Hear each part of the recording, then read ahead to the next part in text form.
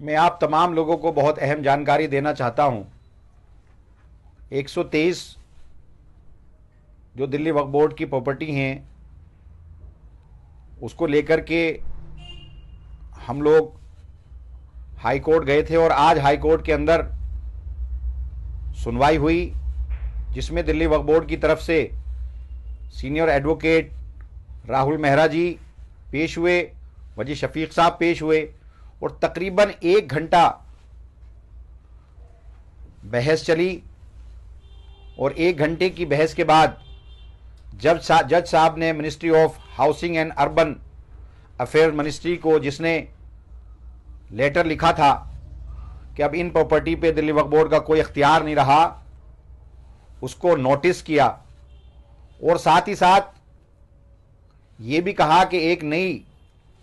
Petition ये जो एक notice ministry of housing and urban affairs ministry ने दिया है, उसके खिलाफ आप नई पिटीशन दायर करें। तो ये वाली पिटीशन में डेट मिल गई इनको नोटिस जारी हो गया जवाब दाखिल करने के लिए। और दो तीन दिन के अंदर अंदर नई पिटीशन हम दायर करेंगे। और अल्लाह की ज़ात से पूरी उम्मीद है कि कोर्ट से हमें इंशाल्लाह इंसाफ मिलेगा और दिल्ली वक्फ बोर्ड की 123 प्रॉपर्टी में से